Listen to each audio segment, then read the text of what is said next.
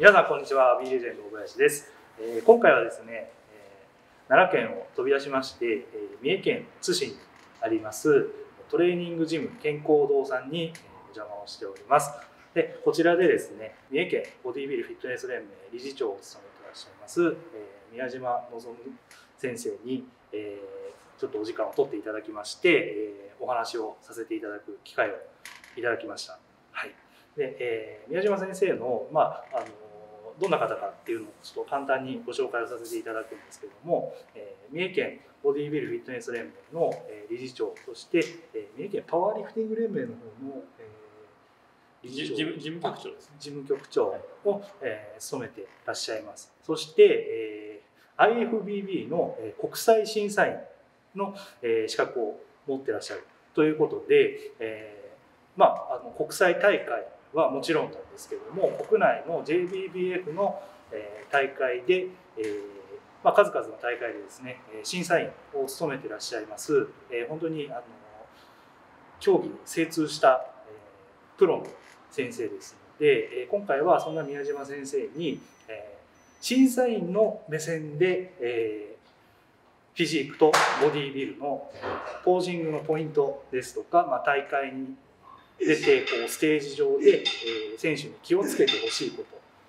え解説していただきたいなと、え思っております。えまあ、今こう SNS ですとか YouTube なんかでこう選手の方がねこうポージングの取り方とか、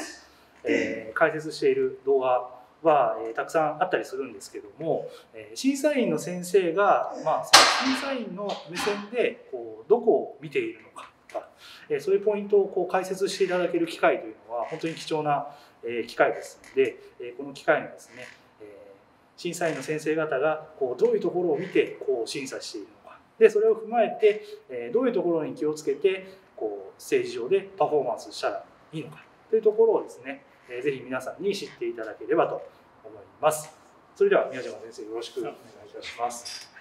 まあ、そうしましたら早速なんですけども、えーまあ、競技人口が今どんどん増えてます。メンズフィジークから、えーちょっとお話しいただきたいなと思うんですけれども、はい。えーまあ、ズバリメンズフィジーク評価される体というのはどんな体なんでしょうか？そうですね。あのまあ競技人口増えてますので、あの腹筋が割れているとか、はい。えー V シェイプであるとかはい、肩が大きい、もうほとんどの選手が、えーある程度の大会になるとそういった体型をしてきますので、まあ、そんな中で、えーアウトラインですね。全体に見た時の完成度、まあ今言ったところですね。えーシックスパーこのミッドセクションの完成度、えー V シェイプの完成度でこのまあみんな肩丸いんですよね、まあ、そこがただ単にサイドだけでなくてフロントもリアもしっかりと、丸みのあるえー肩を作れているかと、まあ、それも完成度ですね、まあ、そういったところで、はえー判断するところになります。なるほどですね、まあ、特にこうメンズフィジークはこう審査の要項にもこうトータルパッケージで、えー評価をされるということがこう明記されることがあってこう、まあ、最近なんかはこう地方大会でもものすごいレベルの高い選手がもうゴロゴロ出場してくるということでこう腹筋が強いとか肩がすごい大きいとかそういうこう一部位だけこう目立つような選手ではなかなか上位にはこう食い込めない。そういう状況になってきてる。そうといことですね。はい。で今こう宮島先生のお話でこう完成度というこうお言葉がねよく出てきましたけども具体的にこう完成度の高いこう体部位というのはこうどういう見た目の部位のことを指すんでしょうまあ、特にメンズフィジークで症状されるこのミッドセクションですけども、まあ、ただ単にシックスパックであるだけでなく、はい。まあ、この彫りの深さですね。この腹直筋に対して。で外翼借金も当然しっかりと見えてなきゃいけないんですけども、あとは完成度の中でポージングをしている時に、えーしっかり見えている時と抜ける時がある選手なんですね。ですから審査員がずっと見てる間中その一番いい、えーポジションをい意識、えーキープできる、はい。それも完成度になります、ね、なるほど。一瞬だけ良くてもあのそれを、まあ、少なくとも20秒30秒はい。キープできないと、まあ、評価できないです、なるほど、はい。まあ、そういったところが完成度なるほどですね。やはり上位に行く選手というのはもう一回決めたら変わらないです、はい、見てる間に、はい。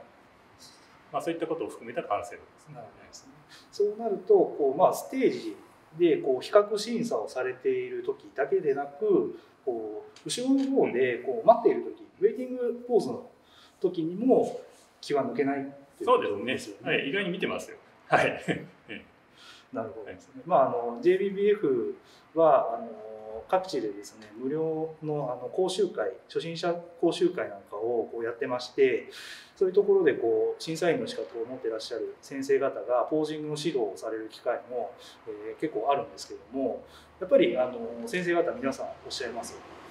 ちゃんと見てるよそうです。はい、あの比較されてる時だけじゃなくてこう待ってる時もしっかり気を抜かずに、えーポーズを取ってなさいということは、えーよく言われますのでそういう意味では、まあ、大会にこう出たことのない方なんかがこう想像するよりもこうポージング練習の重要性っていうのはかなり高いですよね。そうですね。はい。まあ、あのポージング練習こう鏡を前にしてこう、まあ、5秒とか10秒とかそれぐらいの間だけこう取れてるぐらいではちょっと足りない、はいもっとこう20秒30秒こう、まあ、鏡がなくてもしっかり決めれるぐらいまで練習をすることで、えーまあその選手が持っているこう本来のポテンシャルをしっかり出して完成度の高い体でステージに上がれるとはいいうところですね。まあ、おすすめは鏡でなくて、はい。鏡ないところでこうスマホで動画を撮る、えーが一番いいと思います。鏡だと反転しちゃいますので、はい。はいでスマホもちょっと足元に置いて、はい。実際の審査員目線みたいなところから撮ると、あなるほど。わですねかりやすいとはい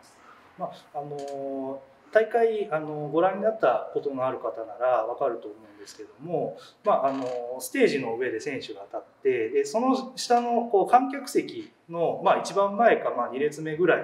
の位置から審査員の先生方というのはこう審査をされるのでちょうど選手の、まあ、足元ぐらいの位置が、え先生方のこう目線の高さに、えなりますのでこうスマホとかでこう写真動画、え撮られる際っていうのは、まあ、どうしてもこうスマホを操作しやすい大体胸の位置とか顔の目線ぐらいにスマホをセットされる方も多いと思いますですけれども審査員の先生方の目線っていうのはもっと下にあるのでその下の位置にスマホを置いていただいて審査員の先生方の目線からどういうふうに見えているのかっていうのをチェックしながら練習していくっていうのが、まあ、効果的になってくるということですね。はいありがとうございます。はい。まああのなのでこうしっかり腹筋を鍛えて、まあ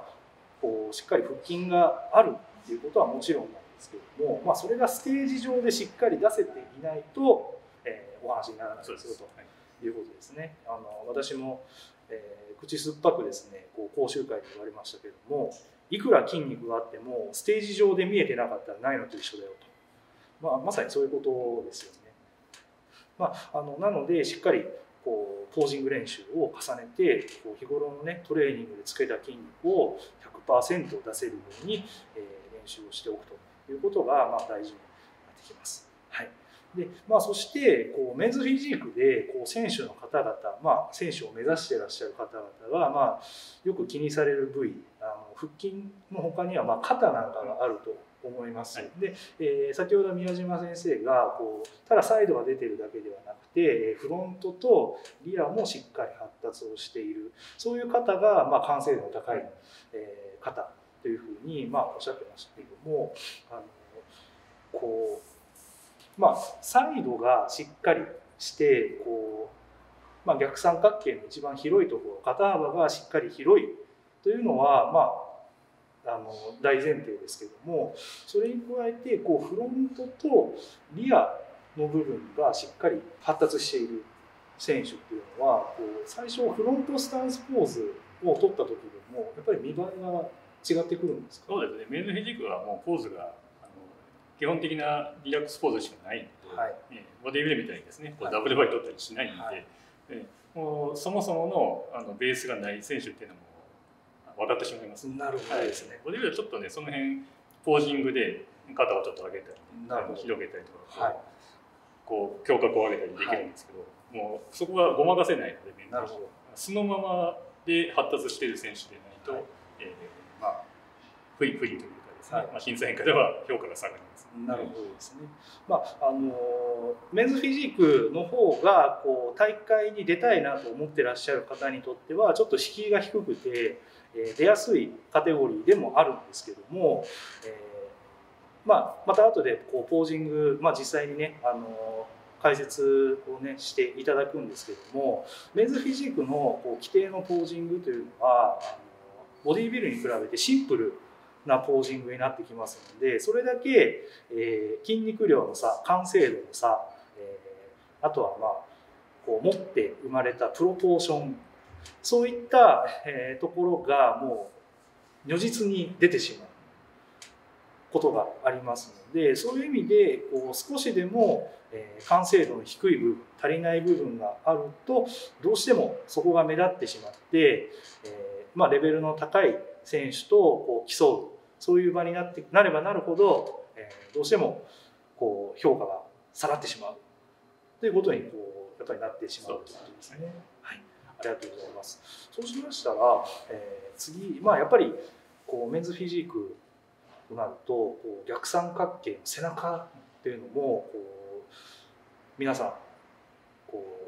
しっかり重点的に鍛えたい部分ではあるんですけどもその背中の完成度についてはこうどういうところが鍵になってくるんでしょうか？もちろんあの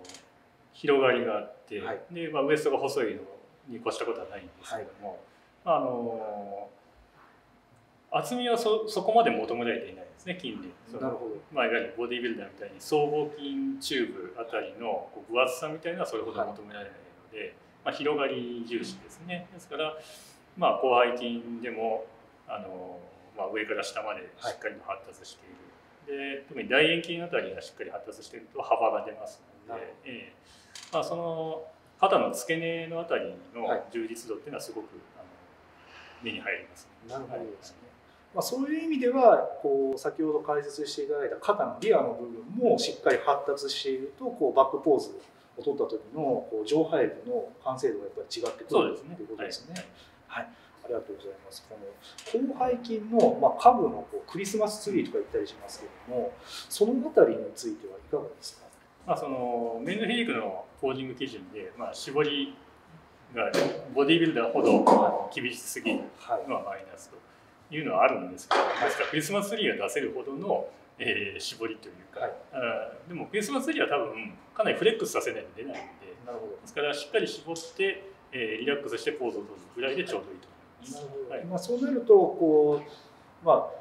クリスマスツリーあのちょうどこの広背筋と起立筋のこう境目の、えー、ラインが、まあ、しっかり出てると、まあ、SNS 映えもして、まあ、かっこいいんですけどもこうそういうところをこう出そうと思ってこう力んでポーズをとってしまうよりは、えー、自然体でリラックスまあ、あの完全に力を抜いてはダメだと思うんですけどもこう自然体でポーズを取るぐらいの方が、えー、メンズフィジークとしてはこう強化が高くなるということですね。まあ、ボディビルダーとしてはその武器になりますけど、はいまあ、同じようにしっかりと絞って力まないのがメンズフィジークのポーズです。はい、クリスマスツリーが出てるとちょっとマイナスかなと思いますね。はい、それは絞りすぎと、はい、えー、審査員が判断する基準になってしまいます、ね、クリスマスツリーが見えたら。なるほどですね。まあ、なのでこう特にメンズフィジークにおいてはこう絞りすぎとか筋肉が目立ちすぎるようなこう部位があると、まあ、部位によっては、えー、逆にマイナスになってしまう。そういうケースもあるっていうことですね。ただよく言われるんですけどあの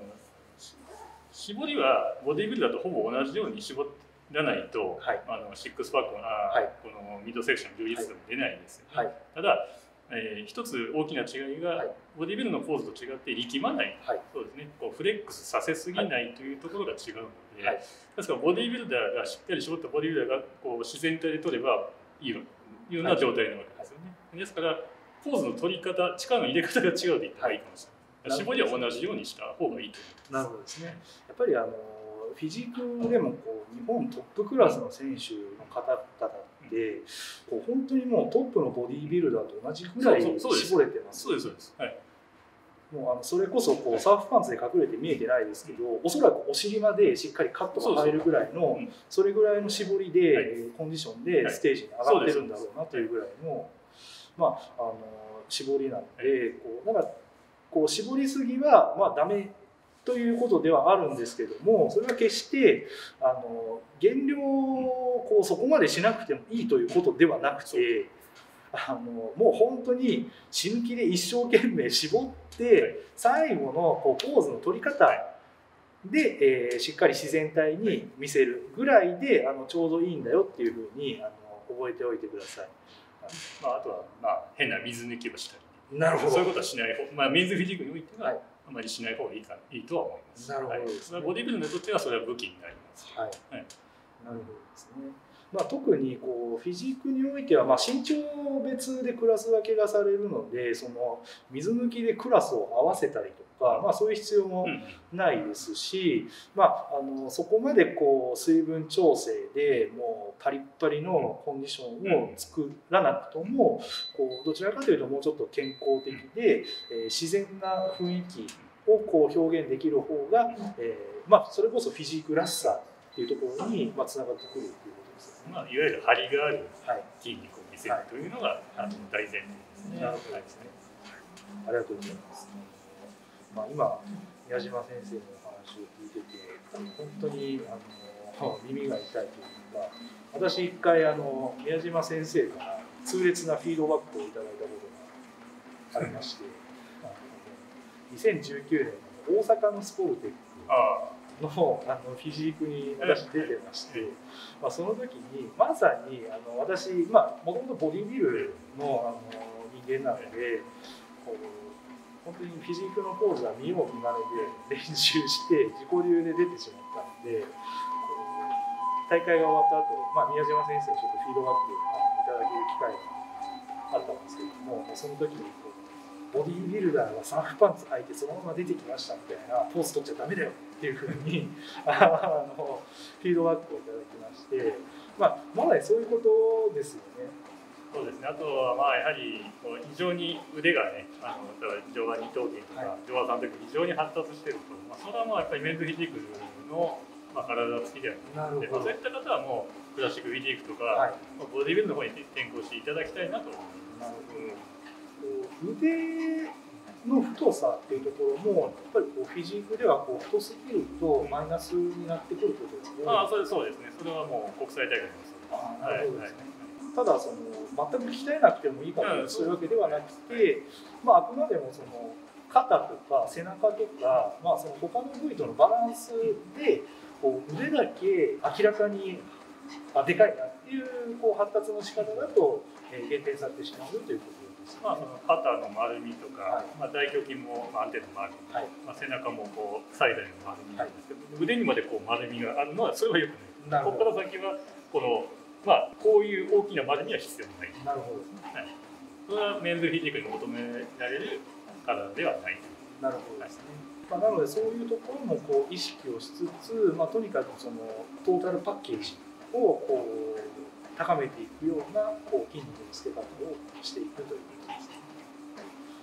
まあ、あのこの大会を目指されてる方なんかはこのトータルパッケージっていうところにこう戸惑いを感じる方も、まあ、いらっしゃるんじゃないかなと思います。あ結局何なんだろうと、えー思われる方が、まあ、いらっしゃると思うんですけどもそのトータルパッケージをこう高めてくこう要素として、まあ、体の完成度が高いっていうのは、えー今まで解説いただいた通りだと思うんですけどもその他の部分例えば髪型ですとかサーフパンツの選び方とかで、えーそのトータルパッケージを高めていくために重要なポイントってあったりしますか？まあ、やっぱりトップ選手は表情も、はい。まあ、爽やかですよね、まあ、爽やかで。でウォーキング一つとっても、えー歩き方に洗練されてますええ。もちろんこううつむいたり、はい。やたらギクシャクしたりする、はい。すごくこう自然な歩き方をしてますね、まあ、それもトータルパッケージに入る。もちろん髪型もそうですけど、まあ分かりやすく言うと爽やかな髪型ですね。こう長髪であったりまああの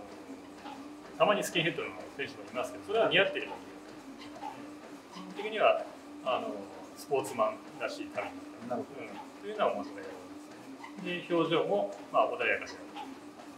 やっぱりこう、まあ、よくスマイルと言われるんですけど、はい、まあ、しっかりと歯歯を見せるすごく大事ですね。自然な笑顔。なるほど、これはまあ練習すればできるんで、あの地方大会では特にこう表情が異常に硬い筋肉選手見るんですけど、はい、それも練習であのできますので、これはあの鏡だとやっぱりわからない、はい。えーまあ、スマホを置いてでそういったえあのスマイルの練習も、えー、した方が絶対いいそうそのことでこの辺の緊張も、ね、リラックスします、で表情硬い選手はこの辺がガチガチになっている傾向が多いので、はい、リラックスします、え。ー、それも含めてはトータルパーティーなるほど、はい。まあ、今その歩き方というところもお話ありましたけどもそうなるとやっぱりこう舞台袖からこう入場してくる時その時からもう審査は始まってるという意識でしっかりいないといけないということ。こう大会にこう出たいと思ってらっしゃる方とかこう去年初めて出場して、まあ、今年2戦目3戦目ぐらいっていうようなちょっと歴の浅いような方からするとどうしてもその比較をされるその瞬間だけ集中するのはもちろんなんですけどもそれ以外のところでやっぱりちょっと集中がこう切れてしまうというか意識が、え抜けてしまってそこで損をしている。ようなこう選手もあの見られるのかなと私個人的に考えてるんですけれどもなのでやっぱりこう入場する時の歩き方ですとかこうまあ後ろでこう並んでる時でまあこうそこからピックアップされてこう選手たちがこう呼ばれて比較審査するわけですけども呼ばれていない時後ろで待機している時もしっかりこう意識を集中して、えポーズを取っておいた方が、まあ、評価は高くなるそうですね、まあ、あの評価を下げるような行為は下げた方がいい、まあ、例えばまあ、後ろの方でこう控えてる時にどうしてもあ腹筋つってしまいそうとか、えー、もう肩がどうにも疲れてポーズが保てそうにないそういう時に一旦ポーズを解いて取り直しをするっていうのはこう評価を下げてしまう。いやそれはないですよ。ただ。あの見て見てて落ち着きのない選手っているんですよあなるほど。下を向いたりなんかこう触ったり、はい、なんかこうこう手を振ったりとかそういう選手は目立ちます。でこう取っててたまにこうふっと抜いてまたとねそんなのはそれほど気にならない。なるほど、ええ、落ち着きがないっていうのが一番よくないはい。まあそれもトータルパッケージということですね、まあ、見られているっていうことなるほど、ええ、なのでこうずっと同じポーズで止まっていないといけないということではないんですけどもそれこそまあ堂々とした姿勢でこう爽やかな表情でポーズを解く時はまあしっかり解いて取り直しするのはいいけども、まあ、あんまりせわしなく見えてしまうような態度は、まあ、やっぱり限定されてしまうかもということですね。はい、大会に出たことがある方なら、まあ、分かると思うんですけどもポーズを取るってかなり疲れるので、えー、もう大会の翌日は全身筋肉痛になるぐらいあの実はその大会でこうステージでポーズを取るっていうのはこう疲れる筋肉を使うあのことでもありますのでそれだけやはりそのポーズの練習ですとか、まあ、それこそこう歩き方ウォーキングの練習なんていうところにもこうしっかり意識をこう配って練習をしていただけるとご自身のポテンシャルをしっかり出し切って大会に臨むことができるかと思いますのでそういうところもこう意識をしていただくといいんじゃないかと思います。